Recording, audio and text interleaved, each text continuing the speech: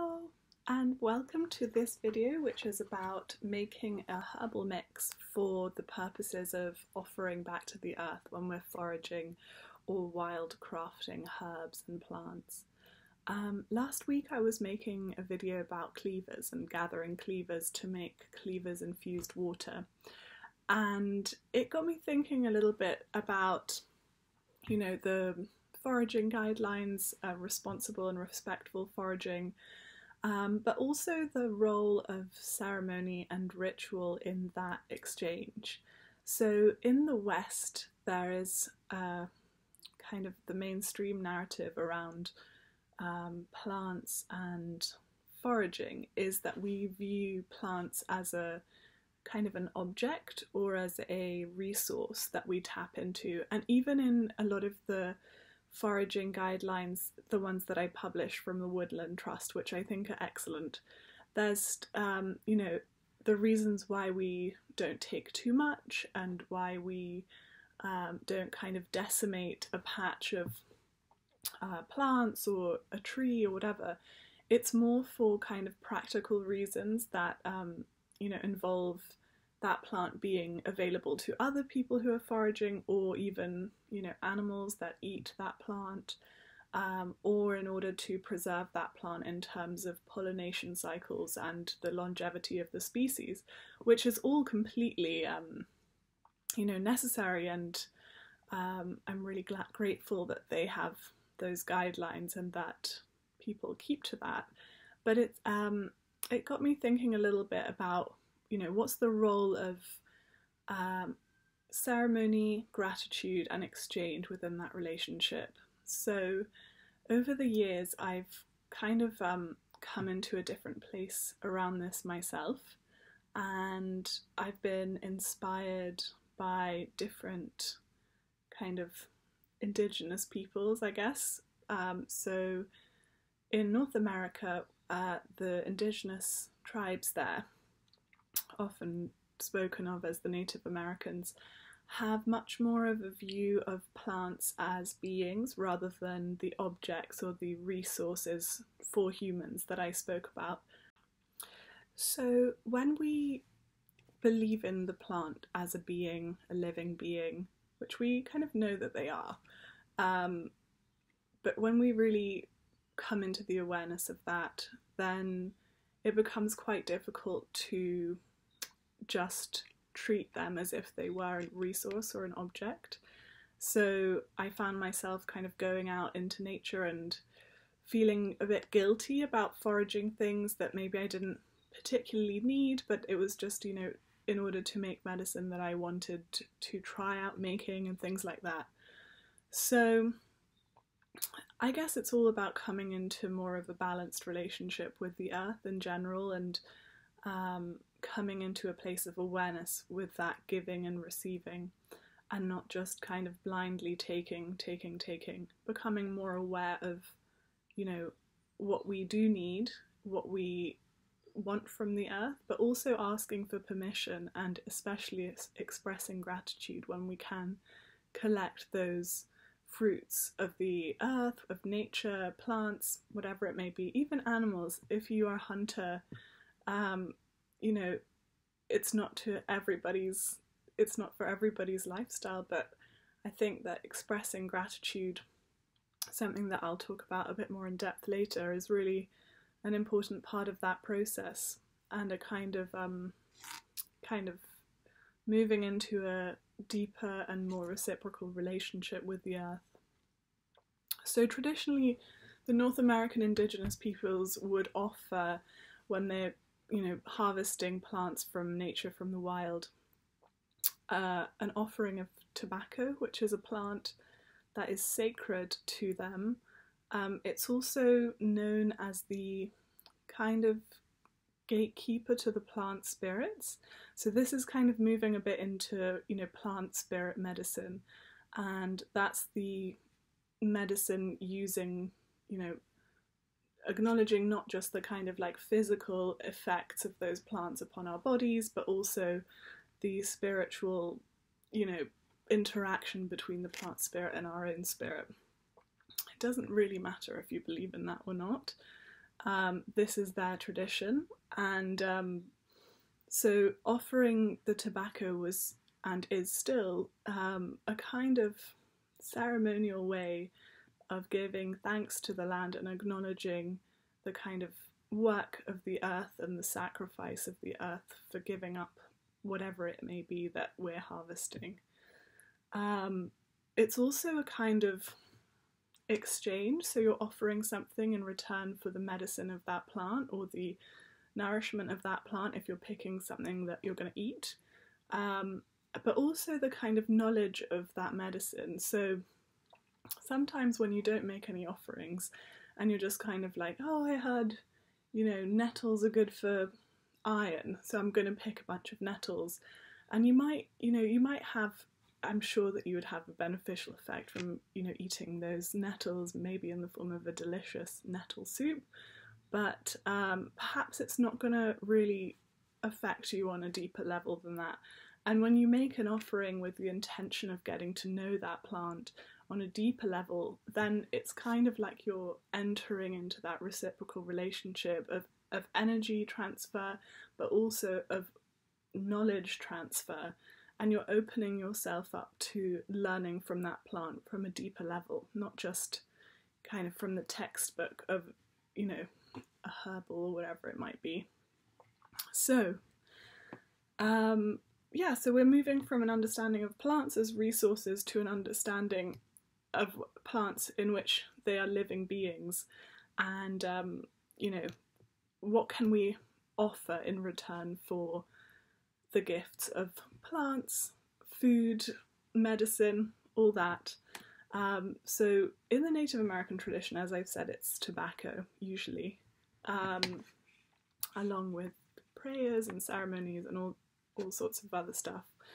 But what I thought was, I'm doing a bit of spring cleaning in my cub- my herbal cupboards, and I think if you're interested in herbal medicine, you probably have lots of herbs left over. Um, you know, you've been sick with something for a while, and you've been using a lot of calendula, but then you end up, you know, not really using the rest of it, and then it goes a little bit um, not so potent looking and a little bit like dead and um, so, anyway, I've got a lot of leftover kind of herbs which are a little bit past their sell by date.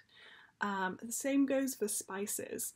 So um, I've kind of gone through my spice cupboards in a kind of spring cleaning effort and found some really old looking stuff. Um, and I've basically put all of those things into a big pot and what I'm going to do next is I'm going to just break up any of the larger pieces and kind of combine it so it's kind of homogeneous. And um, I thought that would be something quite nice to offer to the earth on my future foraging expeditions. And um, you know, the only things that I would wouldn't really include in this are things like chili pepper, like chili flakes, or um, cayenne pepper, things like that, which are extremely strong. That um, if you're sprinkling it on some wild plants, might actually sort of affect their growth and have the adverse effect um, of what we want to say, which is just thank you for being here and thank you for everything that you do for us. Um, so, yeah, I'm going to switch over now to a video of that. Here we have the herbal mix that I've made. So there are a few different things here that you can see. So this one I think is thyme, this is oregano, coriander seeds. Then over here there's some of these flowers which in Italian are called malva. I think they might be related to mallow, but you can see how old and dry they are and these are little fragments of horse tails. We've also got some little bits of hibiscus, a little bit past their prime, and I think that's, oh no, and then there are these things which are actually really, really old dried um, raspberry leaves that I foraged about three years ago. So what I'm going to do now is I'm just kind of making it all homogeneous, um, which means like just spreading it all out evenly. So there we go. I think I'm going to break it up a little bit further so it's a tiny bit finer. Um, but there you, that's essentially what my mix is going to look like. Um, you know, as well as being a kind of symbolic offering to the earth, some of this stuff actually has a lot of amazing minerals, like the horsetails here. These little fragments have a lot of silica in them. So, you know, when that kind of goes down into the earth, uh, that can be absorbed by plants and can actually be quite useful. So, you know, nothing is going to waste, but also some of this stuff is um, going to be very beneficial to the plants, hopefully. So I'm just, um, you know, using my hands to process the herbs a little bit more and make them into more of a kind of powder. Um, and something that you could do at this stage, which could be quite nice, um, is to kind of infuse that intention of gratitude and reciprocity into the herbal mix. And you could you could do anything. You can do that in many different ways. So I would just, you know, tune into yourself and figure out what that might look like for you. But um, for example, one thing that I love to practice is san- chanting Sanskrit mantras. So you could do something like that, like you could chant a mantra into this mix um, that is appropriate for that kind of, you know, gratitude or whatever it might be, or you could just, you know, in, you know, put that energy into your hands, and then as they're sort of working their way through the mix, then it will infuse the whole the whole thing uh, or you could sort of sing it a song. I'm not going to do it on camera because I think I'm just going to get really embarrassed. um, yeah, anything really that you feel like, you know, saying to the mix or singing to it or energetically putting in there now is a good time to do it while you're kind of breaking it all up and homogenizing it. So there we have it, that's my mix and that's kind of as fine as I think I'm going to get it. Um, I think that's fine. Now all that you have to do is find some kind of container and I have this which I think is perfect. It's a I've been just storing a necklace in here but I think I'll repurpose it. Alternatively you could um, kind of make your own one of these quite easily. So you just get, you know, a piece of fabric, this one might actually be a little bit leaky with all these holes, but I have a couple of um, sort of recycled Ziploc bags. Like that one looks like it would fit in there quite nicely. So what I might do is just fill this one up so that there's no like, little crumbs coming out. And then I'll put this inside the cloth bag and whenever I go out foraging or even going on a walk, then I will have something in my pocket to offer back. Um, it's also worth saying at this stage that you know this is a kind of symbolic offering. Um, so if you don't have loads of you know leftover plants etc in your home, um, then there's lots of other things that you can do to kind of participate in this ritual. Uh, so, for example, even just, you know, putting your hands to the earth, there we go, that's done. Um, putting your hands to the earth and saying thank you, um, or singing a song as you pick the herbs or the plants that you're picking.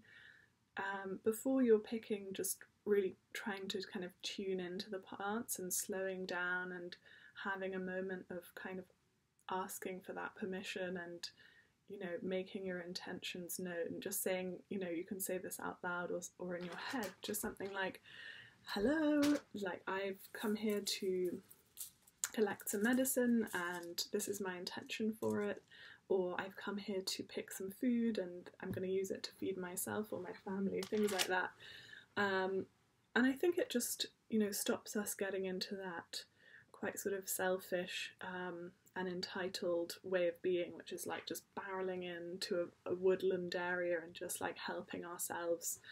Um, it's just a much nicer way of being, in my experience, and a nicer way of practicing a more mindful and aware way of, um, you know, yeah, kind of connecting with plants and nature.